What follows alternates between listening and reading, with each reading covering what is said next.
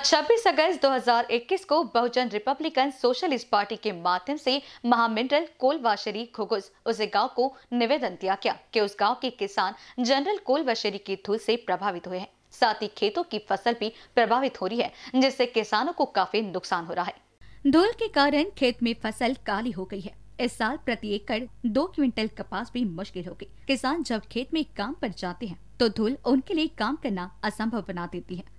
जानवर बीमार हो रहे हैं और रोड पर ट्रकों का ट्रैफ़िक इतना बढ़ गया है कि रोड तक पहुँचना मुश्किल हो गया है। बीआरएसपी के जिला महासचिव सुरेश मलारी पाइक राव ने निवेदन देते हुए चेतावनी दी कि मुआवजा नहीं दिया गया तो बहुजन रिपब्लिकन सोशलिस्ट पार्टी के माध्यम से महामिनाल माइनिंग बेनिफिकेशन कोल वॉशरी के खिलाफ आंदोलन किया जाएगा, ऐसा इशारा सुरेश मलारी पाइक राव इनके द्वारा दिया गया। इस समय उसे गाँव शेतकरी गजानन अड़पाले बंडू नगराड़े, नथु वासीकर अमृत पटी मिठल जुमनाकी मंगल उकिनकर, रमेश काड़े, गुगु शहर अध्यक्ष शरद पाइकवार, विधानसभा सचिव रमाबाई साताडी गुगु शहर महिला अखाड़ी अध्यक्ष मायाताई सांड्रावार गुगु शहर महासचिव अशोक आसम पल्लीवार गुगुस सचिव जगदीश मारपते गुगुस महिला अखाड़ी उपाध्यक्ष विभाताई सोनटके गुगुस महिला आघाडी सचिव जोशना ताई डांगे गुगुस युवा आघाडी अध्यक्ष ईश्वर बेले